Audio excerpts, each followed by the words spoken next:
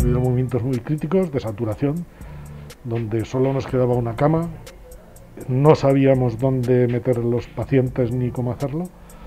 Angustia, porque no sabíamos a lo que nos estábamos enfrentando.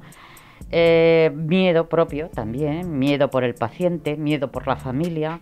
Es decir, ha sido un convenio de todo, pero sobre todo porque no sabíamos a lo que se nos enfrentábamos. El personal eh, está agotado, está cansado, como en todos y en toda España.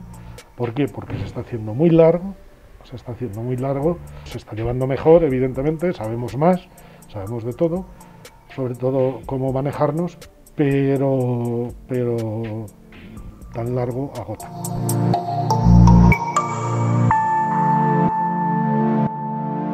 Inicialmente tuvimos que eh, ampliar la planta sexta, cogiendo tres habitaciones, tres habitaciones que eran el sala, sala de estar de médicos y el comedor. Eh, ahí se pudieron sacar seis camas más.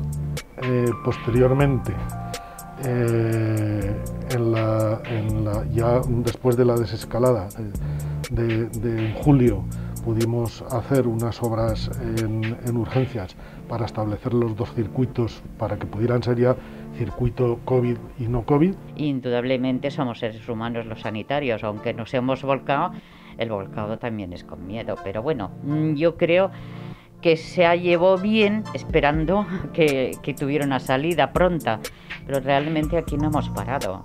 Es decir, pasó lo de abril-mayo, llegó lo de junio-julio. Últimamente eh, lo que hemos hecho ha sido pues, una remodelación también de la planta sexta con los, eh, con los dormitorios del personal, de los médicos de guardia, pues eh, se, ha reestructurado una de las salas de la planta sexta y allí nos han salido ocho camas más, con lo cual pues conseguimos eh, tener en este momento capacidad para 54 pacientes COVID entre la quinta y la sexta.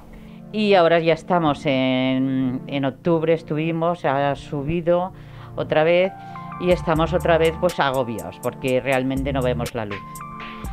Entonces, una vez que han dicho lo de las vacunas, mm, no sé si todo el mundo, pero vamos, yo sí, yo sí creo que puede haber una luz al final del túnel, pero va a ser largo. Los dos momentos claves que nos han, que nos han servido para mantener el, tipo, que digo yo, han sido la, la medicalización del, del, hotel, que yo siempre lo he denominado, porque es así como me gusta, hospitalización a domicilio centralizada, en el hotel o donde sea, y después la hospitalización a domicilio centralizada en el Hogar Santo Ángel, donde realmente pues, nos ha servido para controlar esta casi tercera pandemia para nosotros. Va a ser largo porque ahora vienen las fiestas de Navidad, la, la fiesta de la Constitución y todo esto hace que la gente se olvide de que aquí tenemos un virus que nos está matando y está matando a mucha gente. Pues el mejor comportamiento, sobre todo cuidado, cuidado y cuidado.